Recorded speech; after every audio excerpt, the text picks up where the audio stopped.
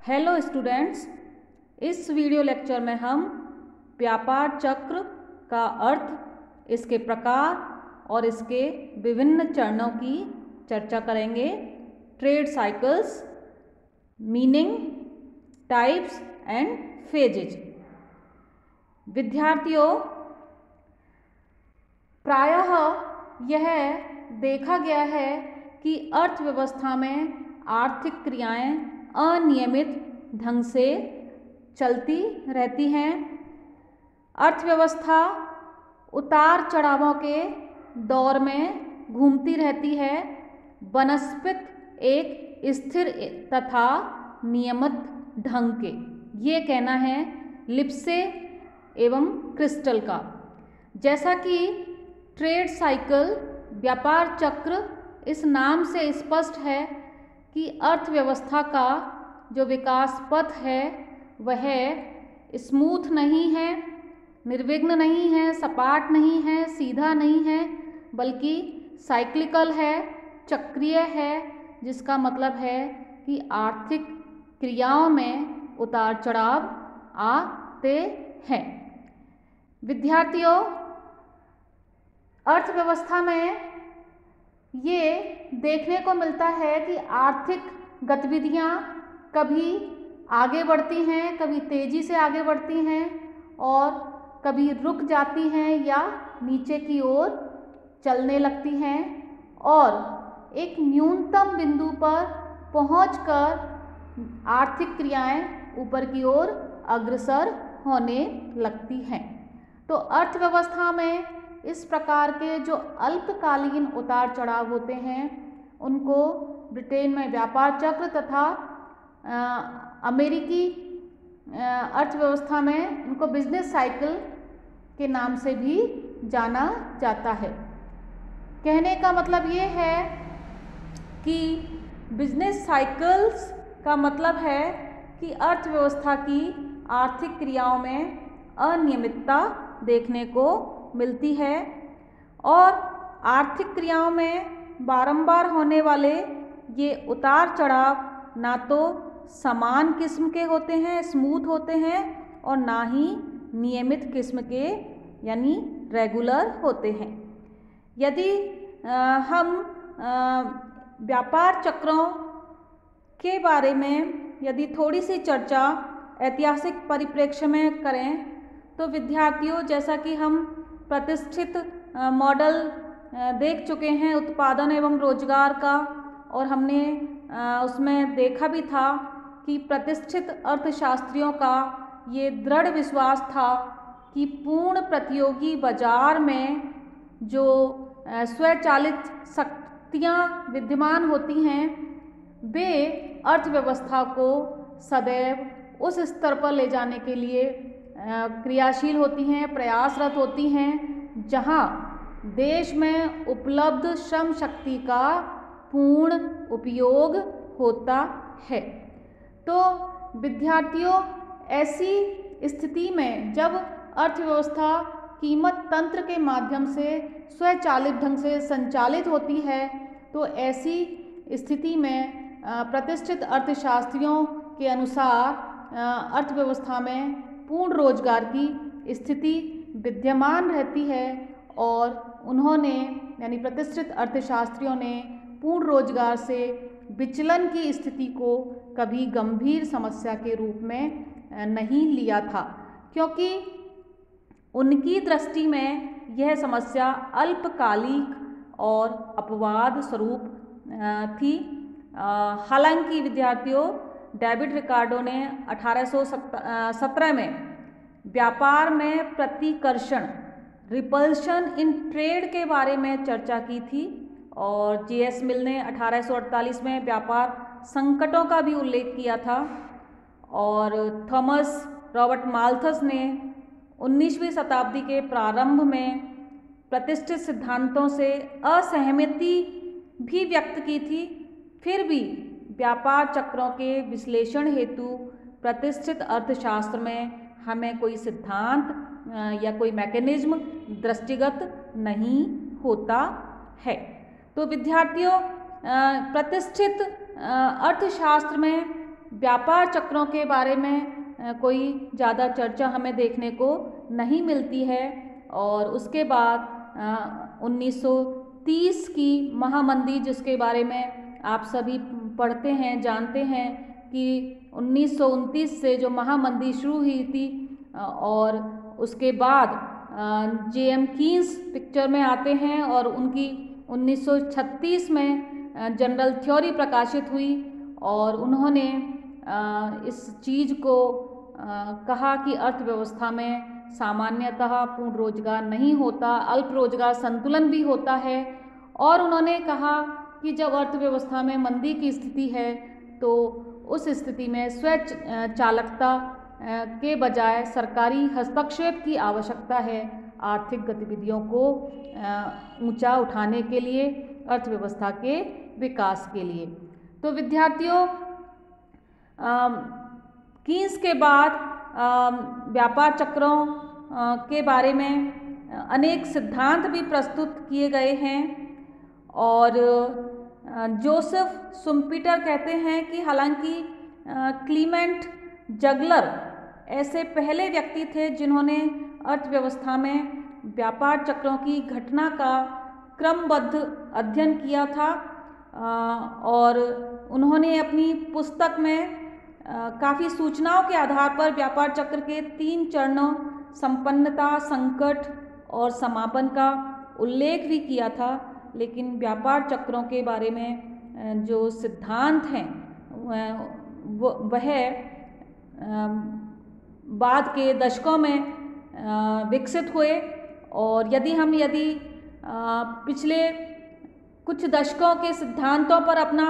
Focus करें तो हम देखते हैं कि व्यापार चक्रों के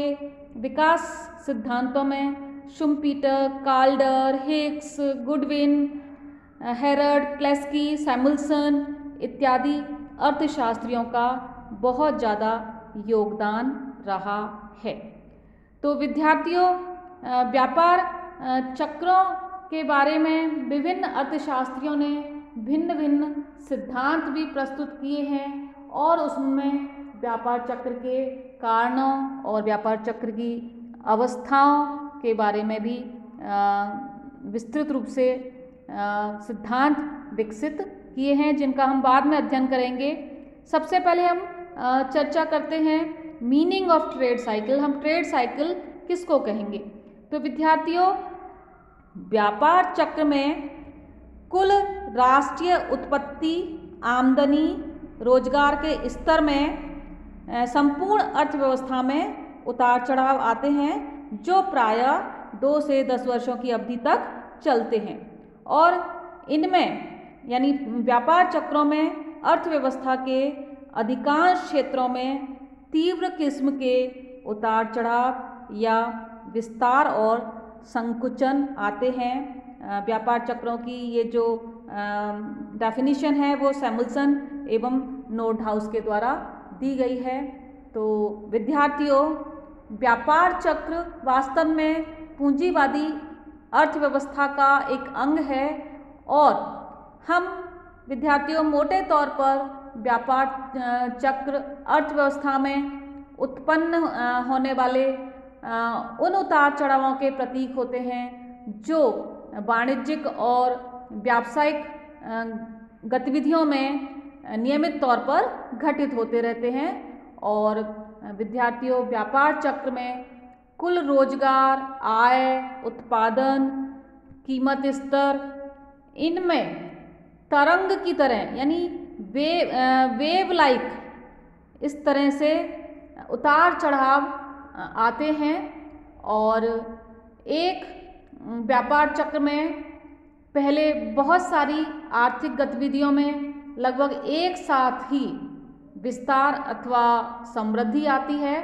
तथा उसके बाद सामान्य मंदी एवं संकुचन की क्रियाएँ होती हैं। फिर इनकी पुनरावृत्ति दूसरे विस्तार चक्र के रूप में होती है और परिवर्तन का यह क्रम बार बार तो होता रहता है, लेकिन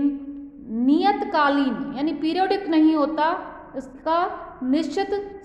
समय अवधि नहीं होती। तो कहने का मतलब ये है कि व्यापार चक्र के अंतर्गत तेज़ी के बाद मंदी की अवस्था आती है और उसके बाद मतलब ये तेज़ी के बाद मंदी की अवस्था आती है, लेकिन ये आवश्यक नहीं है कि तेज़ी, यानी दो मंदी और दो तेज़ी की जो अवधियाँ हैं, वो बिल्कुल समान हों।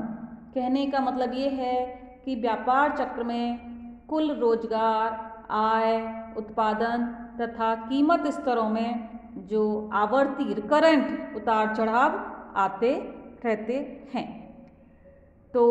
व्यापार चक्र आर्थिक गतिविधियों में उतार चढ़ाव को, उच्चावचन को फ्लक्चुएशंस को सूचित करते हैं। तो विद्यार्थियों, जो व्यापार चक्र हैं, हम उनके प्रकारों की यदि हम बात करें, हम थोड़ा सा इनका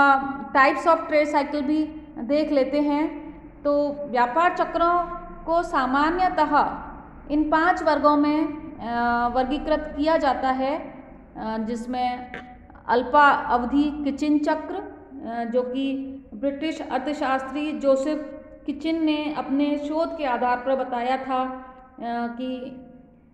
जो व्यापार चक्र हैं लगभग 40 महीने से अधिक अवधि का होता है और इसको किचिन चक्र को हम लघु चक्र भी कहते हैं। और किचिन कहते हैं कि एक प्रमुख चक्र में दो या तीन लघु चक्र भी होते हैं। दूसरा है दीर्घ जगलर चक्र। विद्यार्थियों, फ्रेंच अर्थशास्त्री क्लीमेंट जगलर ने बताया कि समृद्धि और जो संकट और परिसमापन की जो अवधियाँ हैं वह हमेशा एक क्रम के बाद दूसरी आती हैं और जगलर चक्र की अवधि सामान्यतः साढ़े नौ वर्ष की आ, मानी गई है।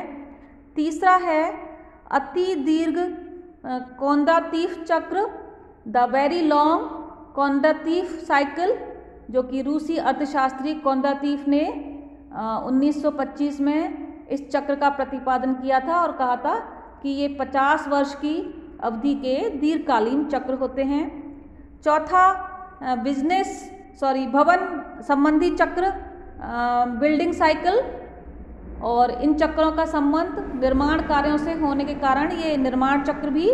कहलाते हैं। इन चक्रों की अवधि सामान्यतः 18 वर्ष के करीब मानी गई है और ये चक्र अमरीकी अर्थशास्त्री वारन एवं पियर्सन के नाम से भी जाने जाते हैं, जिन्होंने world price and the building industry 1937 में अपने निष्कर्ष प्रस्तुत किए थे। और पांचवा चक्र है कुजनेट्स चक्र, जो अमेरिकन अर्थशास्त्री साइमन कुजनेट्स ने इन चक्रों का प्रतिपादन किया था और कहा था इनकी अवधि 16 से 22 वर्ष होती है। तो विभिन्न अर्थशास्त्रियों ने व्यापार चक्रों के जो विभिन्न प्रकार हैं, उनमें व्यापार चक्रों की अवधि अलग अलग बताई है।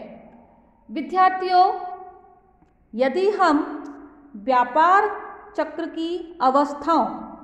फेजेज ऑफ़ साइकिल की चर्चा करें, जो कि व्यापार चक्र सिद्धांत में बहुत इंपॉर्टेंट है, बहुत महत्वपूर्ण है, व्यापार चक्र की अवस्थाओं को समझना बहुत आवश्यक है तो विद्यार्थियों जो व्यापार चक्र हैं उनमें प्रायः चार अवस्थाएँ देखने को मिलती हैं और अमेरिका अर्थशास्त्री वंश तथा मिचेल कहते हैं कि प्रत्येक व्यापार चक्र में निम्न बिंदु गति यानी जिसको ट्राफ भी कहते हैं और उच्च बिंदु शिखर जिसको पीक भी कहते हैं, इन दो अवस्थाओं के अतिरिक्त दो अन्य अन्य अवस्थाएँ इन दोनों के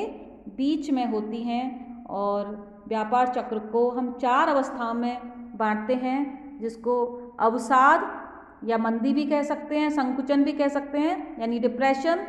दूसरा पुनरुत्थान, यानी रिकवरी या रिवाइवल तीसरा समृद्धि या तेज़ी प्रोस्परिटी प्रोस्पेरिटी एंड बूम और चौथा है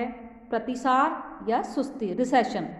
तो ये चार अवस्थाएँ व्यापार चक्र की आती हैं और इस चित्र इस चित्र में आपको व्यापार चक्रों की चारों अवस्थाएँ दर्शाई गई हैं। इसमें हमने ओ एक्स अक्ष पर समय लिया है टाइम लिया है और ओ वाई अक्ष पर जो वास्तविक जीडीपी है, वह ली है, यानी वास्तविक जीडीपी आर्थिक गतिविधियों को सूचित करती है। और विद्यार्थियों व्यापार चक्र की इन चार अवस्थाओं में आप देख रहे हैं कि पुनरुत्थान है, समृद्धि है, उसके बाद उच्च बिंदु है, फिर प्रतिसार है, फिर अवसाद है, फिर निम्न बिंदु है, फिर पुनरुत्थान है और समृद्धि है। तो इस प्रकार ये चार अवस्थाएँ आप देख रहे हैं। तो व्यापार चक्र के अंतर्गत जो न्यूनतम बिंदु है, वह न्यूनतम बिंदु, ये न्यूनतम बिंदु इसको हम देख रहे हैं, ये न्यूनतम बिंदु है, जिसको हम ट्राफ कहते हैं, और ये व्यापार चक्र का एक मोड़ बिंदु होता है, और इस मोड़ बिंदु के बाद सुधार प्रक्रिया चालू होती है, जिसको हम पुनरुत्थान कहते हैं, और इसके बाद जो अर्थव्यवस्था है, वह चोटी पर पहुँचती है, यानी समृद्धि आती है अर्थव्यवस्था में, और ये पीक है, ये चोटी है, ये जैसे उच्च बिंदु यहाँ दिखाई दे रहा है, ये चोटी है और इसके बाद अर्थव्यवस्था चोटी पर पहुँचने के बाद पुनः मंदी के दौर में, यानी जो रिसेशन है, प्रतिसार के दौर में प्रवेश करती है, और उसके बाद प्रतिसार के बाद जब आर्थिक क्रियाओं में मंदी और गहरी हो जाती है तो हम उसे अवसाद कहते हैं यानी उसे हम डिप्रेशन कहते हैं और अर्थव्यवस्था का निम्नतम बिंदु आ जाता है, मोड़ बिंदु आता है। तो अर्थव्यवस्था में इस प्रकार अप्स एंड डाउन चलते रहते हैं। अर्थव्यवस्था में आर्थिक गतिविधियों में जो साइक्लिकल फ्लक्चुएशंस होते हैं, उतार चढ़ाव होते हैं। तो विद्यार्थियों, यहाँ पर आप देख रहे हैं कि अर्थव्यवस्था एक निर्विघ्न या सपाट या सीधे रास्ते पर नहीं है, यानी अर्थव्यवस्था में वेव लाइक यानी अर्थव्यवस्था में तरंग की भांति उतार चढ़ाव हैं। ये अर्थव्यवस्था में जो इस अर्थव्यवस्था का जो विकास मार्ग है, वह एक स्ट्रेट लाइन नहीं है। जैसे हमने यहाँ पे ये ली है, इस स्ट्रेट लाइन के ऊपर नीचे अर्थव्यवस्था में स्विंग्स हैं, उतार चढ़ाव हैं। तो विद्यार्थियों यहाँ पर हमने जो विकास का जो मार्ग लिया है, दीर्घकालीन जो ट्रेंड लिया है, वह आपको बढ़ता हुआ दिखाई दे रहा है। हो सकता है अर्थव्यवस्था में जो ये विकास का मार्ग है, वह एक अर्थव्यवस्था एक कांस्टेंट रेट पर भी ग्रो कर सकती है दीर्घकाल में। और जो उतार चढ़ाव हैं, वह उस कांस्टेंट रेट के इर्द गिर्द भी हो सकते हैं। तो विद्यार्थियों ट्रेड साइकिल में आप देख ही रहे हैं कि अर्थव्यवस्था में उच्चावचन हैं और ये उच्चावचन बड़े बड़े हो सकते हैं और छोटे छोटे भी हो सकते हैं, यानी साइकिल्स बड़े भी हो सकते हैं और छोटे भी हो सकते हैं। यानी कहने का मतलब है, आप ये साइकिल है,